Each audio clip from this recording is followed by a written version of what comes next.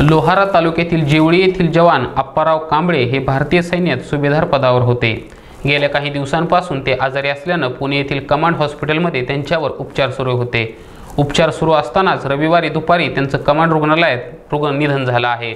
त्यांच्यावर शासकीय इतमामात अंत्यसंस्कार करण्यात आले आहेत. पुणे येथे कांबळे यांना सैन्य दलाच्या वतीनं मानवंदना देण्यात आल्यानंतर त्यांचं पार्थिव जेवळी येथे आणण्यात आलं त्यानंतर त्यांचे पार्थिव मूळ गावी जेवळी गावात त्यांच्या राहत्या घरी अंत्यदर्शनासाठी ठेवण्यात आलं होतं.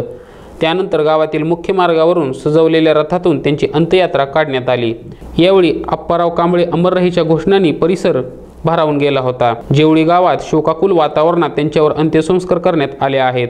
त्यांना जिल्हा पोलीस दलाच्या वतीनं बंदुकीच्या फैरी झाडून मानवंदना देण्यात आली असून शोकाकुल वातावरणात अंत्यसंस्कार करण्यात आले आहेत. यावेळी लोहारा तालुक्यातील आजूबाजूच्या गावातील नागरिक महिला युवक मित्रपरिवार मोठ्या संख्येनं सहभागी झाला होता. यावेळी तालुका प्रशासनातील सर्व विभागातील अधिकारी कर्मचारी या अंत्यविधीमध्ये सहभागी झाले होते. Abba Shaikh star Maharashtra news Lohara Osmanabad.